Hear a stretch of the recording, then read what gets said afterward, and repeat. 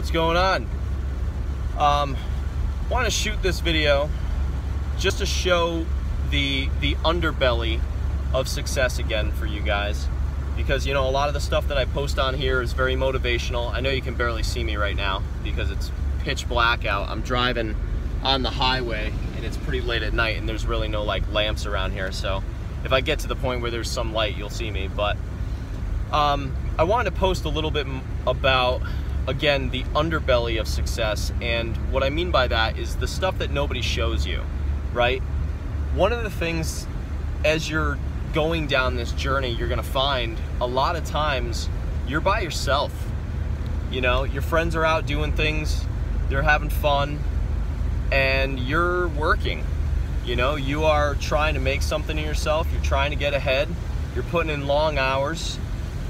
And you know a lot of times during that journey it doesn't feel as if you're you're getting that far. You know what? Let me just turn this on. There we go.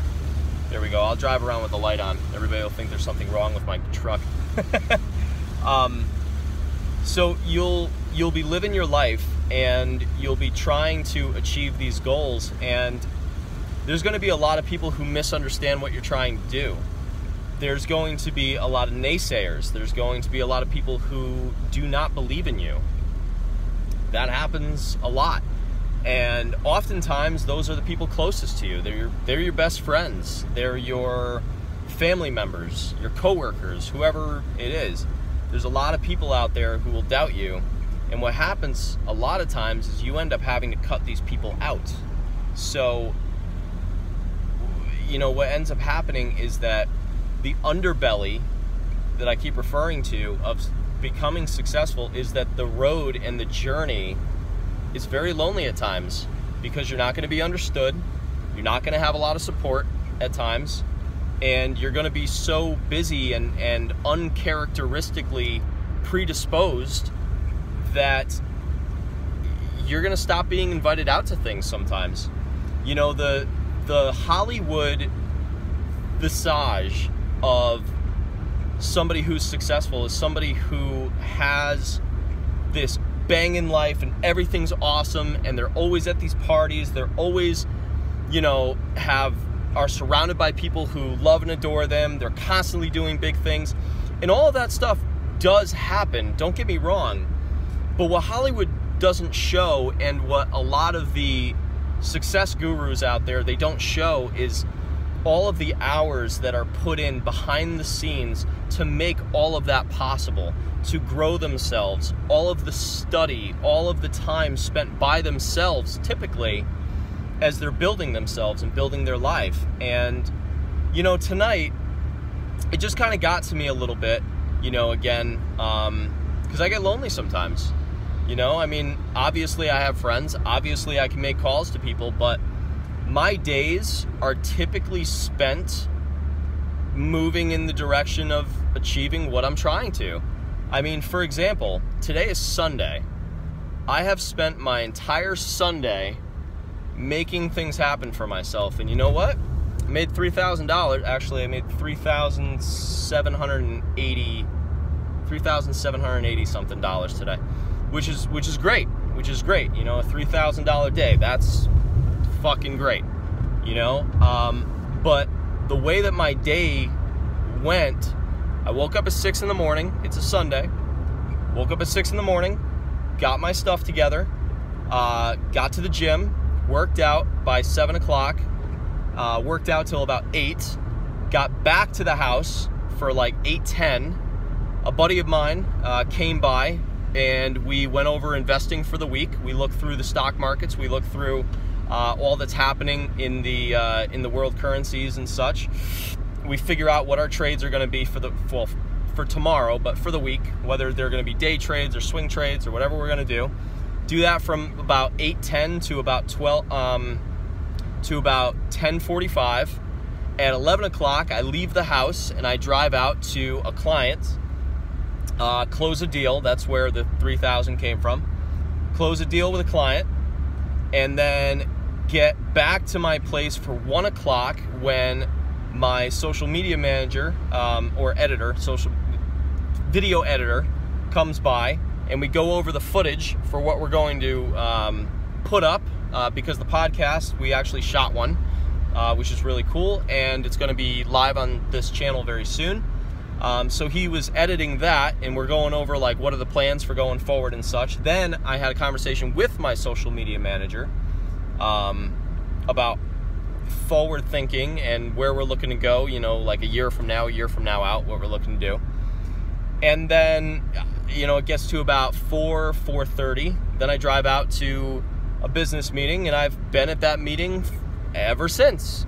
And it is now 8:19 at night and I'm heading back to the house and I'm basically gonna take a shower and then read up on um, different investment strategies for the markets just to get better at it because I study it every day because if I'm trying to put my money to work for me I need to make sure to be well versed on it.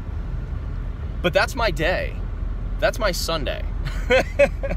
You know? And um, you know it's not that I never have any fun but when you're on this journey, you have to be prepared to know that this is the direction that you're going in. You're going in a direction that not many people are willing to travel because it's it's fucking hard. It's it's difficult. There's risks. You're by yourself. You have to build yourself up. You have to um, constantly reevaluate yourself and what has to be made better you have to put yourself out there. You have to take action. You have to have balls to make stuff happen. You know, I mean, I put a lot of stuff on this channel that can be scrutinized, right? So, what I'm getting at with all this is that, you know, there will be friendships that end up somewhat sacrificed. There will be relationships that will fall away. Um, you could always rekindle them, but the thing is, is that on this path, I want to be very clear if you are going to try to take this path and try to become successful and try to do the things, you know, pull out all the stops and do whatever it takes to make your your dreams come true, which is mine. I'm trying to get financially free as young as possible so that I can live the life that I want to live and and live every day like it's a vacation, right? And I'm trying to pull that off in the next few years. In order to do that, it takes late nights. It takes early mornings. It takes lonely, lonely days. And that's that's another one of the underbellies of success. And I experience it. You know, I, I get down sometimes about it because it's it's very uh, it's very frustrating. You know, and it, it, it will eat at you.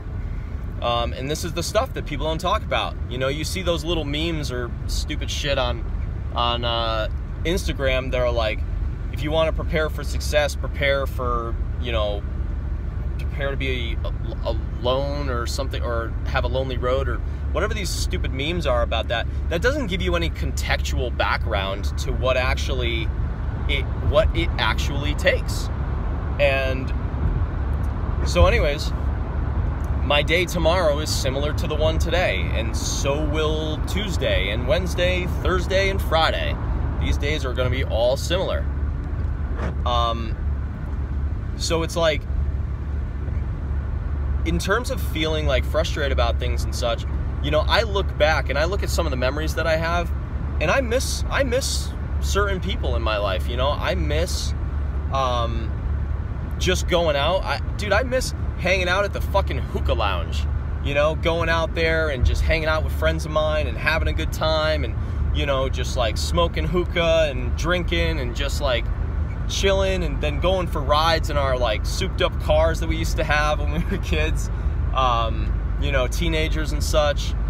You know, racing motorcycles down the highway, pulling wheelies all over the place, having a blast, going to shows, you know, concerts, this, that, and the other. You know, I miss all that stuff. But,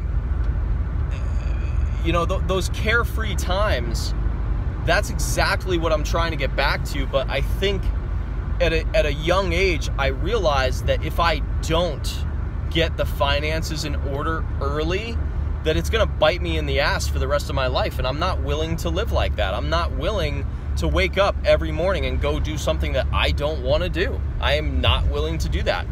So I'm willing to live like most people are not willing to live right now, to live like most people can't later which is exactly what I'm what I'm doing. You know, I want to get back to those carefree times. I want to get back to like just having a blast and such. But this is a journey and it's it's a dedication that you have to make if you really want to get to the levels that, you know, we talk about and that you see some people at. You have to understand that the sacrifices to be made and the the sheer time that you have to put into doing everything that is required if you're going to get there swinging for the fences and hoping you win the lottery, you know, whether figuratively, uh, metaphorically, or literally win the lottery and, and get this life that you want. That's not that's not how it works. You know, I am trying to make as much money as possible in the job that I have, invest as best I possibly can, and put all the puzzle pieces together so that I can live this amazing life later on. But I wanted to shoot this video for you on one of the more frustrating nights that just kind of has me thinking and kind of has me down a little bit because I definitely miss that stuff. So I've been trying to kind of balance out a little bit better, but you know, I'll tell you, the balance is very difficult when you have so many things that you have your hands in trying to make this stuff work for you and multiple streams of income and all that kinds of stuff. So, um, anyways, I don't know if this is an encouragement video. I don't know if this is just waking some people up who are saying that they want this. Think about it. Do you really want this? Because I've been going like this for close to close to about six years now.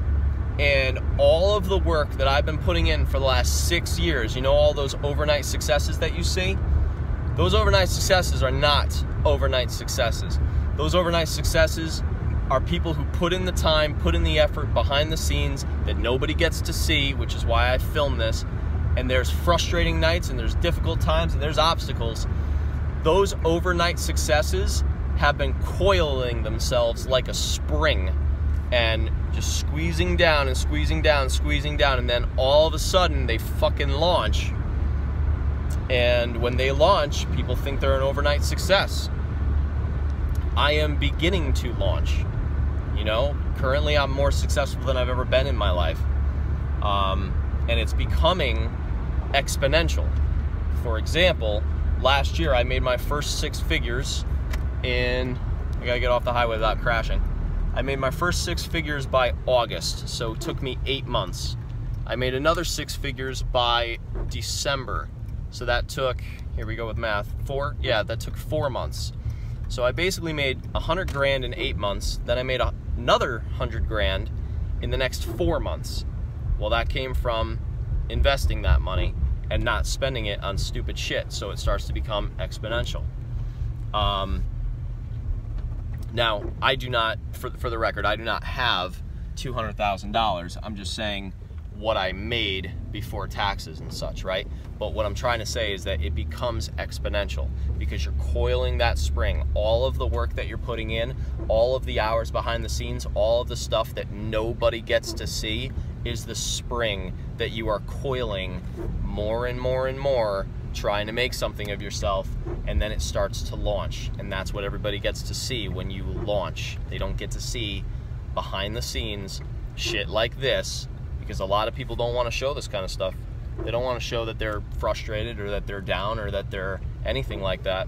Me, I'm just trying to be real with you guys. So think real carefully if this is what you want because everybody claims that they want it. They want the end result, but you got to be willing to put in all the work that's going to get you to that end result. So think real close. Think real good. Is this what you want? So I'll see you guys at the top. I'm hoping you're going to make that journey with me. Talk to you next time.